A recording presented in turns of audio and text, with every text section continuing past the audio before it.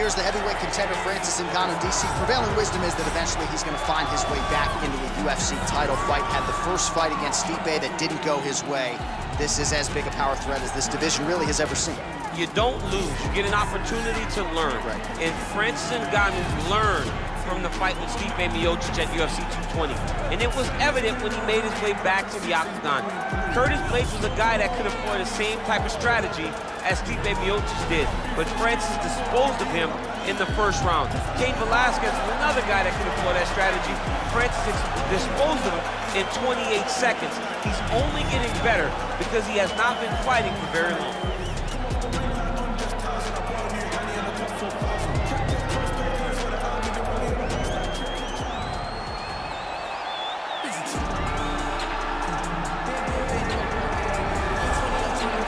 Lot of people think it's the most significant title in combat sports. No argument from me. Baddest man on the planet, UFC heavyweight champion.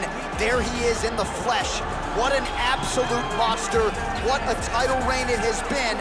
But a serious challenge in front of him here tonight. When this man became the heavyweight champion, a lot of people thought that this challenger was the one who would wrest the belt away. Now the fight is here. We'll see if we get a new champion or if this man continues one of the greatest heavyweight legacies the Octagon has ever seen.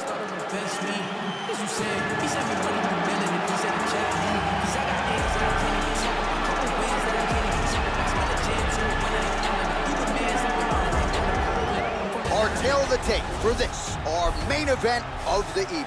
Adesanya is 31. Ngannou is 33. He weighed in at 250 pounds even. He will have a three-inch reach advantage. To get us started, here is Bruce Buffer. Ladies and gentlemen, this is the main event of the evening. And when the action begins, a referee in charge of the Octagon, Yves Lavigne. And now, this is the moment UFC fans around the world have been waiting for. Live from the Honda Center in Anaheim, California. It's time!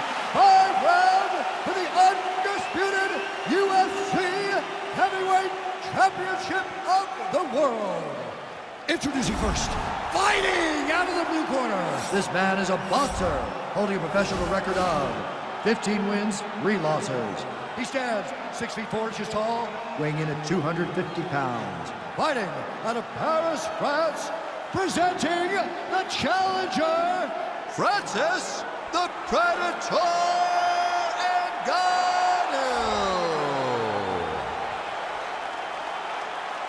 And now introducing the champion, fighting out of the red corner. This man is a mixed martial artist, holding a professional record of 19 wins, no losses. He stands 6 feet 4 inches tall, weighing in at 185 pounds. Ladies and gentlemen, presenting the reigning, defending, undisputed UFC heavyweight champion of the world, Israel, the last Stylebender.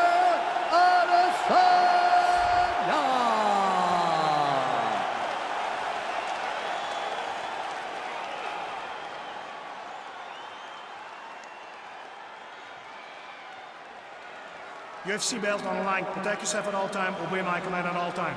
If you want to touch love, do it now. Go back to your corner.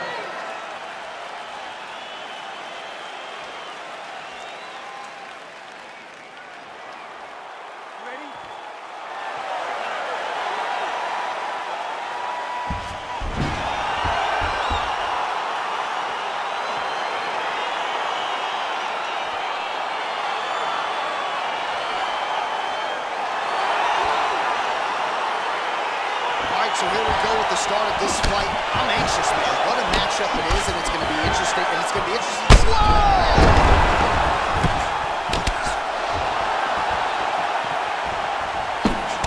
Oh, straight right. Well, perhaps a sign of things to come as he lands a kick there. Nice kick landed by this gentleman. Good job keeping that head off the center line. Slips to avoid the right hand. Big punch landing over the top. How's he gonna follow this one? Nice stick with the right hand. Well done to catch the kick. We'll see what he can do with it. Well, he can look like it did stun him a little bit. What a fantastic strike to throw at the exact right moment. Oh,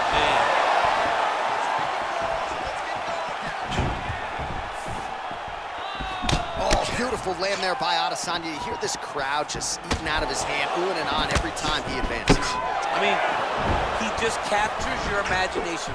Oh!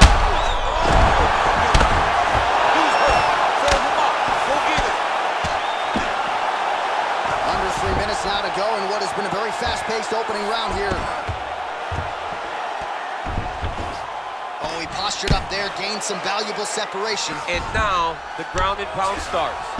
All right, closed guard now. You gotta be careful though. He's got a lot of submissions off his back.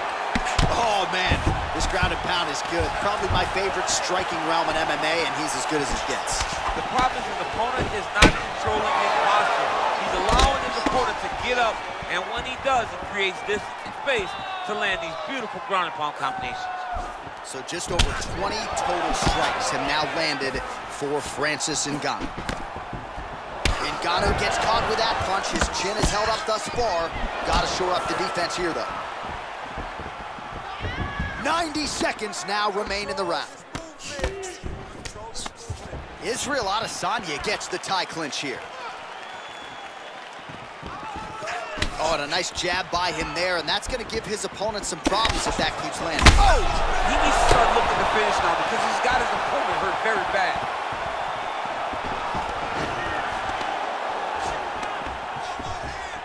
Right hand punch from the clinch. And they separate. And Ngannou gets caught with that punch. Not the easiest guy in the world to hit, but he got caught there. Oh, a little single collar tie there. 20 seconds left. Look at him yank the head and land that beautiful punch from the clinch. The Predator gets touched by that kick right to the body there. Nicely done by the opponent. And he switches to southpaw.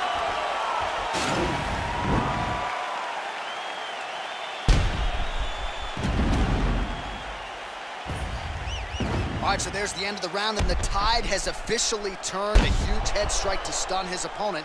We'll see which corner can adjust here moving forward. I mean, they've got to be celebrating. They've got to be happy. Everything's working. But the other side has to be concerned. They have to figure something out, make some sort of adjustment to try to change the tide of this fight. Listen, listen. All right, hey, we all take shots, okay? All right, listen.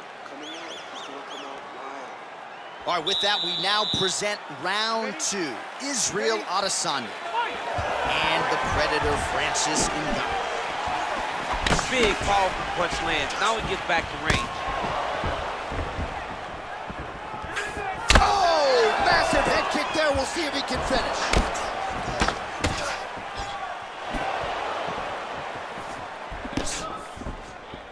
And he caught the kick. We'll see what he can do with it. Oh, good opportunity to do damage here. He's got that tie clinch. He blocks the shot. 36 total strikes have landed for Francis and Ngannou. And landing with 35% accuracy thus far against Oh, he's hurt bad. He's hurt bad, John. He's got to press him. He's got to go chase that finish down now. All right, well, he continues to manhandle him here on the ground. Now maybe trying to get to a choke position here, DC. Back to the feet now. Oh, nice job to slip off the center line there. His head movement has been a huge, huge factor defensively in this fight. You can never be a stationary target.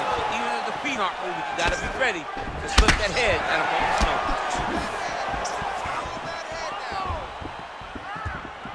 Man, as he landed a high volume of strikes here in round two, definitely picking up the pace after round one. So he got the message from the corner, and now he is taking control of this second round. Just misses with a left hook there. Ooh, what a punch.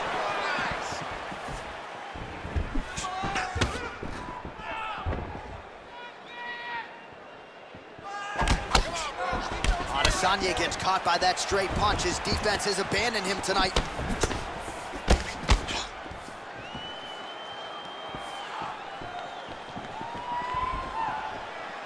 Whoa! He's in trouble. He's hurt bad. Oh, he might be out. Oh! Holding on to him here, not really doing too much, perhaps just looking to recover. All right, so he's landed some good shots. You hate to be overly critical, but nothing really in terms of combinations tonight. Well, the jab has been looking great. How about jab, jab, right hand? Because eventually you're going to have to put something on your opponent that's going to really make him pause. I believe the jab has been working so well, if he drops a big right hand. Oh!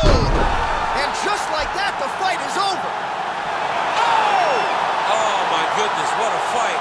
Yeah, man, crowd loving it. Just a gorgeous shot there to end the fight. Really just the way he drew it up. He found the opening and capitalized on it to the utmost extent. Nicely done to finish the fight. Well, he's going to enjoy watching this one back. Let's take a look at the replay of the knockout just a moment ago. It was right hand after right hand after right hand. Finally, he found the one that hit the exact sweet spot that ended his opponent's night. So the celebration is on for the UFC heavyweight champion of the world, the baddest man on the planet, and your winner, yes, by knockout here tonight.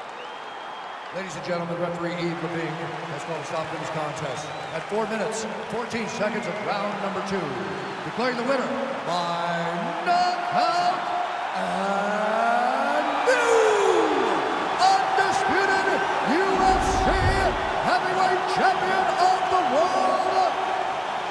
Francis the Predator Ngannou. There is a new baddest man on the planet. There's the new UFC heavyweight champion. You don't get him all right, DC, but you thought this was going to be the result, and we got a new champ. I mean, he has so much power and such an ability to shut the lights off that you almost saw it coming. Congratulations to the new baddest man on the planet.